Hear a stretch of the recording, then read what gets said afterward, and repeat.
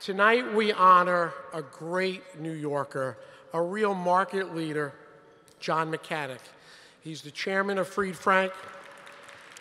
John, your colleagues, friends, and clients have supported tonight's event in an overwhelming fashion. We turned away so many tables. John, I know you're going to have your moment, but thank you for making this happen happen tonight. Really, really special, special night. I'm truly humbled to be up here amongst some of the most extraordinary greats of our time. When my fellow board members asked me to briefly, briefly speak about Jonathan Mechanic, I frankly did not know how to describe such an icon.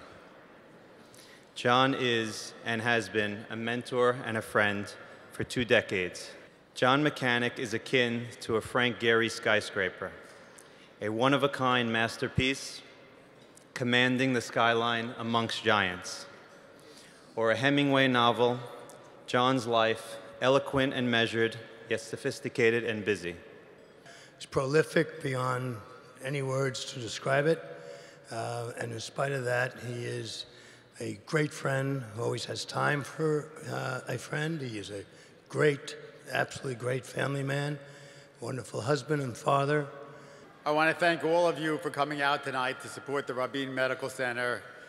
Yitzhak Rabin, in whose honor the medical center was named, was assassinated, as you've heard, 20 years ago this past November 4th.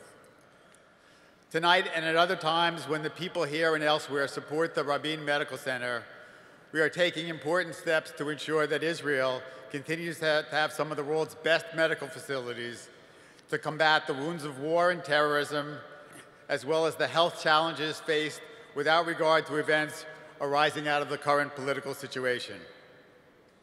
We can all be proud of the Rabin Medical Center and what it does, as well as the man who was so appropriately honored by having the institution bear his name. I want to thank my gala co-chairs who helped make this dinner a success. But most of all, I want to thank all of you in the room and those who couldn't be here tonight but showed their support for this dinner.